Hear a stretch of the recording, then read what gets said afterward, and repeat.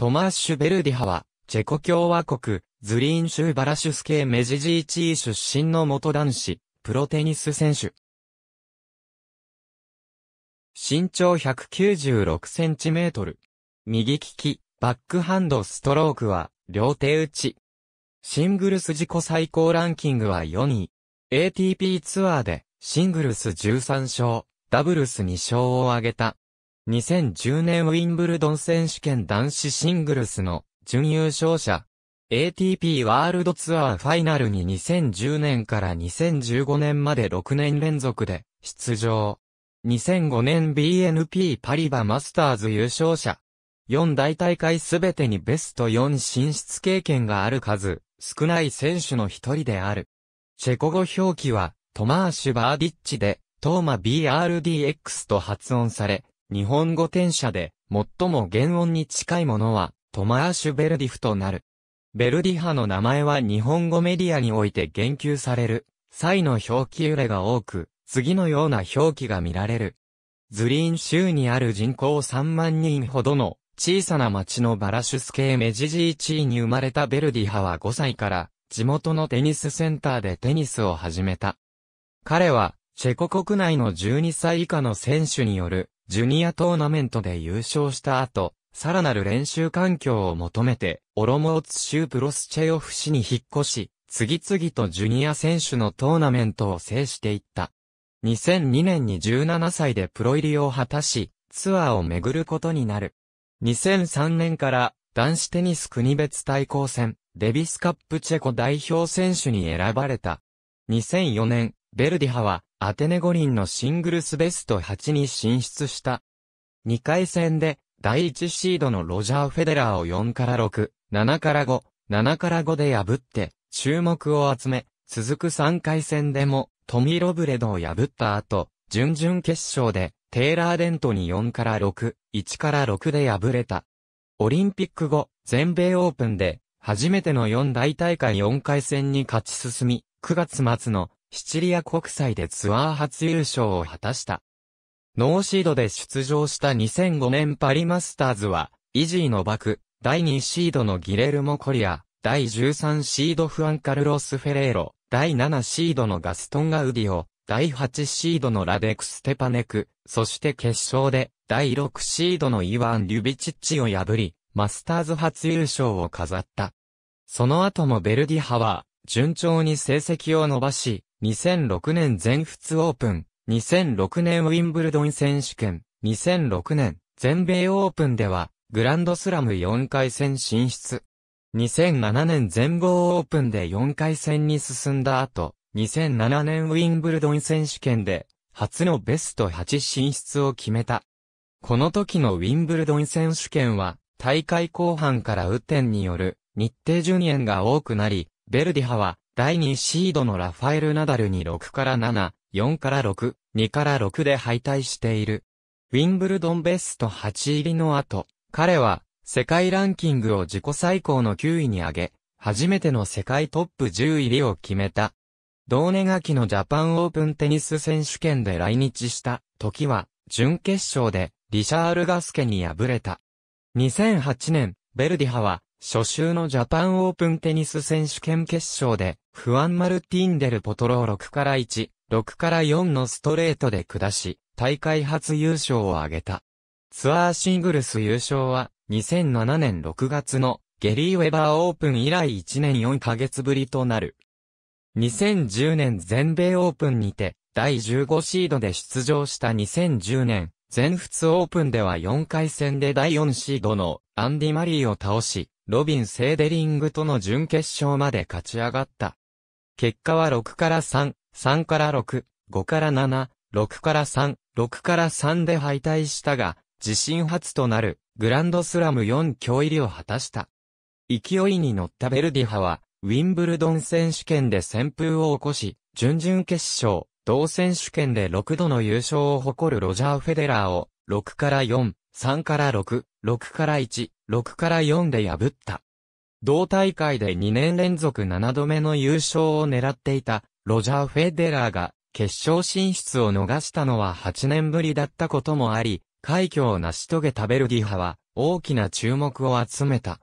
次の準決勝で世界3位のノバク・ジョコビッチを破り、初の4位大大会決勝進出を果たす。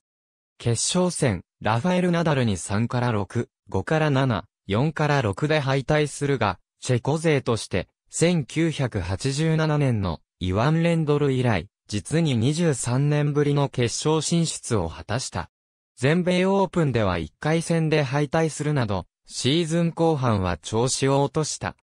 2010年 ATP レースランキングで、グランドスラム準優勝、マスターズ戦準優勝など、合計3755ポイント獲得し、世界第6位の成績で、トップ8選手による最終戦 ATP ワールドツアーファイナルに初出場を果たし、世界ランキングを自己最高の6位に上げた。全豪オープンでは、フィリップ・コール・シュライバー、リシャール・ガスケ、フェルナンド・ベルダスコを倒し全豪初のベスト8進出。2011年のチャイナオープンでは、準優勝した2010年ウィンブルドン選手権、以来1年3ヶ月ぶりに決勝に進出。マリン・チリッチを36、64、61で破り、2009年5月の BMW オープン以来2年5ヶ月ぶりの6勝目を挙げた。2011年 ATP レース、ランキング合計3300ポイント獲得し、世界第7位の成績で、ATP ワールドツアーファイナル2年連続で出場。ラウンドロビンで、ヤンコ・ティップサレビッチ、ダビド・フェレールに勝利して、初の準決勝進出を果たした。全豪オープンでは、ケビン・アンダーソン、ニコラス・アルマグロに勝利し2年連続ベスト8進出。全米オープンでは準々決勝で、第1シードのフェデラーを倒し自身大会初のベスト4位リ。グランドスラムでフェデラーを準決勝以前で複数回勝利したのは、ダビド・ナルバンディアン以来二人目。2012年 ATP レースランキングで、グランドスラムベスト4、マスターズ1000準優勝とベスト4、250シリーズ、優勝2回などで合計4405ポイント獲得し、世界第6位の成績で、ATP ワールドツアーファイナル3年連続で出場。デビスカップでは、ラデク・ステパネクと共に、デビスカップチェコ代表の中心選手として活躍。イタリア、セルビア、アルゼンチンを破り、決勝では、スペインと対戦。第2試合では、ニコラス・アルマグロにフルセットで勝利すると、第3試合のダブルスでは、ステパネクと組んで、グラノリエルス、エムロペス組に勝利。第4試合で、フェレールに敗れるも、第5試合でステパネクが、アルマグロに勝利し、チェコスロバキア解体以来初のデビスカップ優勝を果たした。全豪オープンでは、ユルゲン・メルツァー、ケビン・アンダーソンに勝利し3年連続ベスト8、進出。BNP パリバオープンでは、フロリアン、マイヤー、ガスケ、アンダーソンを倒し初のベスト4進出。マドリードオープンでは、アンダーソン、第3シードのマレを破り2年連続ベスト4。BNL イタリア国際では、第1シードのジョコビッチを破り初のベスト4入り。ウィンブルドンでは、アンダーソン、バーナード・トミックらに勝利し3年ぶりのベスト8、進出。シンシナティマスターズでは、第2シードのマレーを破り2年ぶりベスト4。翌週の世界ランキングで自己最高の5位となった。2013年 ATP レースランキングでグランドスラムベスト8を2回、マスターズ1000でベスト4が4回など、合計3980ポイント獲得し、世界第6位の成績で、ATP ワールドツアーファイナル4年連続で出場。デビスカップでは2年連続で決勝に進出し、セルビアと対戦。第2試合で、ドゥシャン・ラヨビッチを破り、第3試合のダブルスでは、ステパネクと組んで、ボゾリャツ、ジモニッチ組に勝利。第4試合で、ジョコビッチに敗れるも、第5試合でステパネクが、ラヨビッチに勝利し、デビスカップ連覇を果たした。2013年全豪オープンでは、アンダーソン、フェレールを倒し全豪初のベスト4進出を果たした。マイアミオープンでは、ジョン・イズナー、アレクサンドル・ドルゴポロフラを倒し初のベスト4進出。マドリードオープンでは、アンダーソン、グリゴール・ディミトロフを破り4年連続ベスト8進出。全仏オープンでは、ロベルト・バウティスタ・アグート、イズナーらに勝利し4年ぶりのベスト8進出。全米オープンでは、ドミニク・ティエムに勝利し2年ぶりのベスト8進出。上海マスターズでは、イボカロビッチを倒し2年ぶりベスト8。BNP パリバマスターズでは、フェリシアーノ・ロペスに勝利し4年連続ベスト8。アンダーソンを倒し3年ぶりベスト4に進出した。2014年 ATP レースランキングで、グランドスラムベスト4が1回ベスト8が2回、マスターズ1000ベスト4と、ベスト8、500シリーズ優勝に250シリーズ優勝など、合計4465ポイントを獲得し、世界第7位の成績で、ATP ワールドツアーファイナル5年連続で出場。全豪オープン準々決勝、第3シードで、対戦成績17連敗していたナダルに6から2、6から0、7から6で勝利した。これにより、ジョー・ウィルフリード・ツォンガに次いで2番目のビッグ4全員に、グランドスラムで勝利した選手となった。準決勝で、アンディ・マリーに敗北したものの2年連続ベスト4、5年連続ベスト8進出を果たした。2月、ドバイテニス選手権2回戦で、通算500勝を達成。現役では8番目の勝利数。BNP パリバオープンでは2年ぶりのベスト8進出。マイアミオープンでは、バーナード・トミック、ガエル・モンフィス、フアン・モナコに勝利し2年連続ベスト4進出。モンテカルロマスターズでは、モンフィスらに勝利し2012年マドリードオープン以来、自身4度目となるマスターズ戦決勝進出を果たす。決勝では、第1シードのジョコビッチに5から7、6から4、3から6で敗れた。5月、マドリードオープンでは、自身4度目となる、ベスト4進出。BNL イタリア国際では、大会5度目となるベスト8進出。また、ミロシュ・ラオニッチが怪我のために、同大会を欠場、西堀圭が準々決勝で、ジョコビッチに敗退したため、5月18日付発表の世界ランキングでは、自身の記録を更新する4位とした。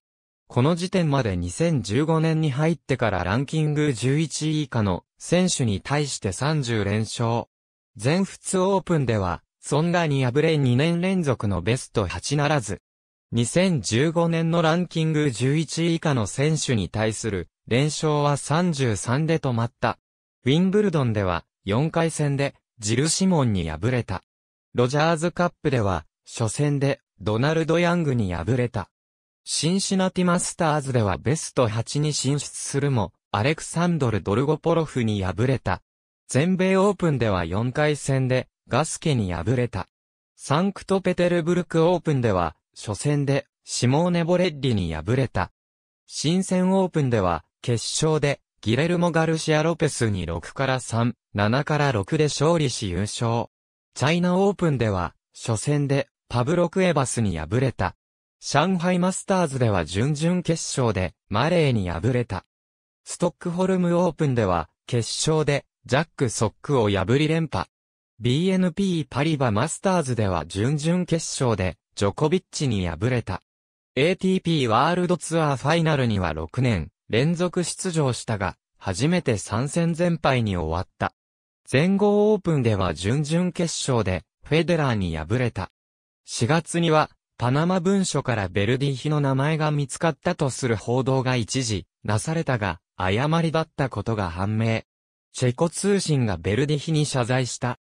5月の BNL イタリア国際では3回戦で、ダビド5ファンに0から6、0から6で敗れ、ダブルベーグルを達成された。全仏オープンでは4回戦で、フェレールを破り、ベスト8進出。準々決勝で、ジョコビッチに敗れた。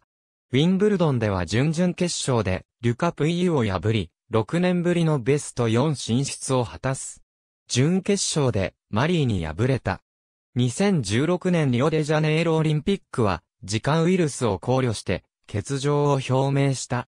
8月に、ゴラン・イワニセビッチをコーチとして招聘。全米オープンは、中水炎のために欠場を表明した。復帰戦の新戦オープンでは、決勝で、リシャール・ガスケに7-6、6-7、6-3で勝利し、今季初優勝を果たしたが、その後3大会連続初戦敗退を喫する。10月31日付のランキングで11位に交代し、2010年7月から6年3ヶ月、守ってきた、トップ10から陥落した。ATP ワールドツアーファイナル出場に最低でも、準決勝進出が必要な BNP パリバ、マスターズでは準々決勝で、世界ランク1位を狙うマレーに敗れ、ATP ワールドツアーファイナル7年連続出場を逃す。補欠の一番手の権利があったが、中水炎の治療を理由に辞退した。全豪オープンでは3回戦で、フェデラーに敗れた。BNP パリバオープンでは2回戦で、西岡義人に逆転負けを喫する。マイアミオープンでも準々決勝で、フェデラーと対戦し、フルセットの末敗退。リオンオープンでは準決勝で、第1シードミロシュ・ラオニッチを破り決勝進出。決勝では、ジョー・ウィルフリード・ツォンガに敗れ準優勝となった。全仏オープンでは2回戦敗退を喫する。ウィンブルドン選手権は3回戦で、フェレールを撃破。4回戦で、第8シード TM を下すと、準々決勝では、第2シードジョコビッチから第1セットを奪い、その後、ジョコビッチの途中棄権により2年連続でベスト4に進出。しかし、準決勝で今大会を優勝することとなる第3シードフェデラーにストレートで敗れた。全米オープンでは2回戦敗退。その後、エルステバンクオープンを棄権し、ウィンブルドン以来の腰の怪我による今季終了を発表。この年の年最終ランキングは19位で、8年ぶりにトップ10を逃した。年始のカタールオープンでは、初戦敗退。全豪オープンでは、3回戦で、フアン・マルティン・デル・ポトロ、4回戦で、ファビオ・フォニーニを、ストレートで倒し、準々決勝に進出したが、またも、ロジャー・フェデラーに屈した。全仏オープンは1回戦敗退。ウィンブルドンを、背中の怪我で欠場すると、その後大会に出ることなくシーズンを終えた。7月には56位になり、2005年以来の50位以下となった。年間最終ランキングは71位。年始の復帰戦となるカタールオープンで準優勝を飾った。全豪オープンは1回戦では去年ベスト4まで進出したカイル・エドモンドに勝利し、3回戦ではディエゴ・シュワルツマンに勝ち、4回戦進出を果たしたが、ナダルに敗れた。南フランスオープンでは4強に入った。その後は、早期敗退が続き、マイアミオープンは、背中の状態が良くないとして欠場。4月22日付の世界ランキングで101位になり、2004年1月24日以来のトップ100圏外となった。ウィンブルドン選手権で復帰したが、1回戦敗退。ウィンストンセーラムオープンで、アンドレアス・セッピから復帰後初白星を挙げた。全米オープンは、初戦で、ジェンソン・ブルックズビーに敗れ、これが、最後の試合となった。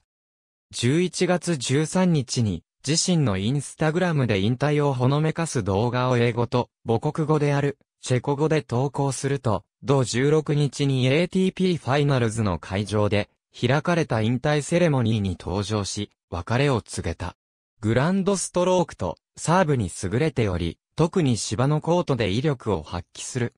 196センチメートルとテニス選手中でもかなりの長身であり、フットワークも良い。ベースラインから打たれるフォアハンドショットは時速 150km ものスピードになり、精度もある。